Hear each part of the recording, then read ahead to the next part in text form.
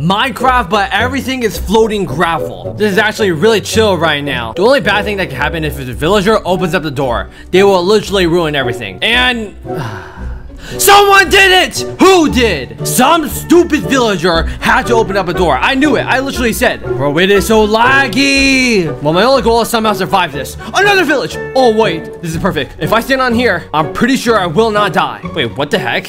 Whoa, what? No, wait. Move, Slim. No, do not bump. Do not bump me off. Do not bump do not. No, it's a smaller one! Move! Oh my gosh. And I wonder who caused this one. Was it a slime or was it a villager? And yup, the whole world is dead. Let's see how far we can bridge. Made it to house number one. Honestly, I can probably make this jump.